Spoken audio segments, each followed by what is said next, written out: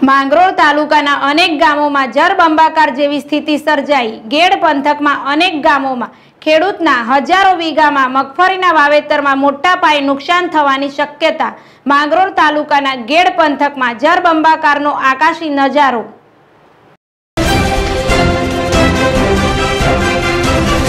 તાજેતરમાં મેઘરાજાની અનરાધાર મેઘ સવારીથી સમગ્ર જૂનાગઢ જિલ્લામાં તળાવો ચેકડેમો નદીઓ છલકાતા અને ચેકડેમો છલકાતા તેમનું પાણી છોડવામાં આવતા ગેડ પંથકમાં જળબંબાકાર જેવી સ્થિતિ સર્જાઈ છે.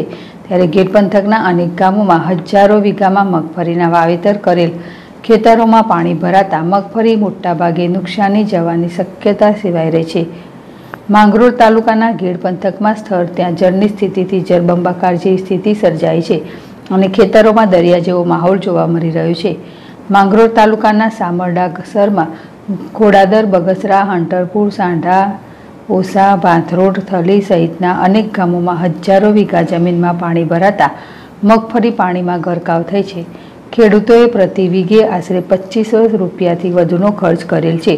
એવા હજારો વીઘામાં ખેડૂતોએ કરેલ મગફળીના પાકને મોટા પાયે નુકસાન થાય તેવી પરિસ્થિતિનું નિર્માણ થયું છે. ગીર પંથકમાં જળબંબાકાર જેવી સ્થિતિનું માંગરોળના સામરડા ગામેથી ડ્રોન કેમેરા દ્વારા આકાશી નજારો જોવા મળી રહ્યો છે. જેમાં જોઈ શકાય છે, માંગરોળ તાલુકાના ગીડ પંથકમાં જરબંબાકાર જેવી સ્થિતિ સર્જાઈ છે. ગોવિંદ હડિયા, જેડેશ ટીવી, માંગરોળ